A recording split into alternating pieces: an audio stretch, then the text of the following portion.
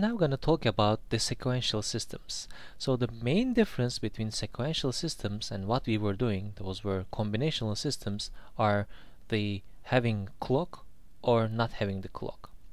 So for no clock systems, we are talking our regular logic gates. Let's say like if we have a NAND gate, and then when we have our inputs, whenever your inputs change, your output will change immediately. So as soon as your output input changes, your output changes right after. There is no waiting period, there is no timing.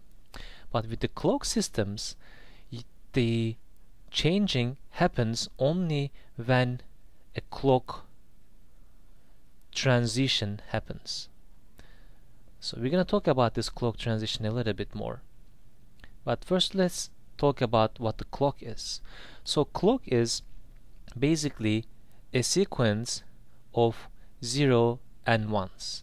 So if you can think about a tick-tack, tick-tack, so one is 0 and one is 1. So it changes between 0 and 1. You can also say low to high.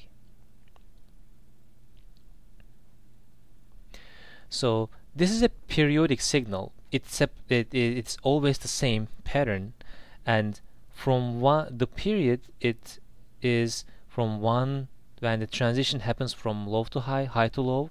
That is one period. So this is your period, and it is uh, shown with T, capital T. And the frequency of a clock signal is the inverse of uh, the period and that is shown with f. For example, let's say you have a period of 10 milliseconds. So this means this is 0.01 second. The inverse of that would be 1 over 0 0.01 and this is 100 and the unit would be hertz. So as we said there are the the clock transition happens and the circuit decides. So those are some circuits that we're gonna discuss. So there will be two circuits that we're gonna talk those are latches latch and flip-flop.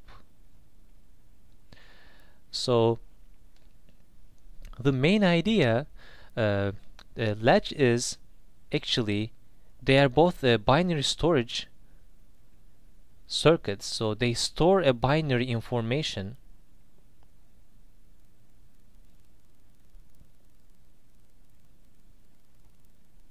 both of them. But the difference is latch does not really have a clock signal. It works with clock transi transitions but it does not have a clock. However flip-flop has a clock. And the way how we describe the transition if it is from low to high we call this transition as a leading edge because it is from 0 to 1 and if it is high to low we call this trailing edge.